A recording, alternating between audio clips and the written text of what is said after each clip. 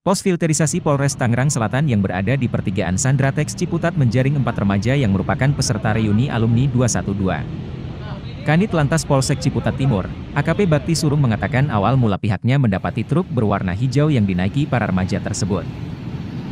Lantas pihaknya pun memberhentikan truk yang ditumpangi para remaja tersebut.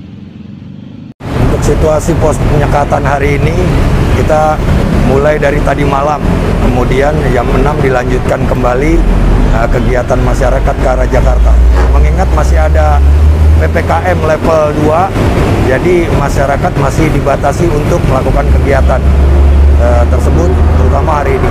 Kita melaksanakan kegiatan tersebut uh, secara random, uh, melihat uh, masyarakat ada yang menggunakan kendaraan roda dua atau roda empat ataupun bak terbuka menggunakan bak terbuka membawa masa. Ya kita imbau kita turunkan kita tanyakan uh, sehubungan dengan kegiatan apa akan ke Jakarta. Demikian. Uh, jadi pada saat diturunkan dari truk uh, mereka uh, memberhentikan truk kurang lebih dari daerah Sawangan.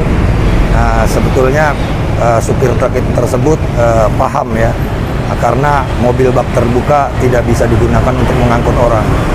Nah, namun uh, empat pemuda tersebut tetap naik, kemudian kita turunkan di pos uh, Sandra Tek. Nah, pas kita tanyakan mereka akan melaksanakan kegiatan di Monas. Bagi pemuda yang terjaring ini dibawa ke Polres atau? Ya, kemudian atas perintah pimpinan ya kita uh, arahkan ke Polres ya setidaknya mengurangi masyarakat yang memang akan tetap kegiatan di Jakarta.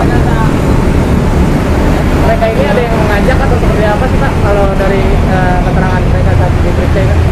Uh, untuk sementara ya mereka akan mengaji aja bilang seperti itu. Cuman untuk ajakan yang itu belum ada kita lihat tanda-tanda seperti itu.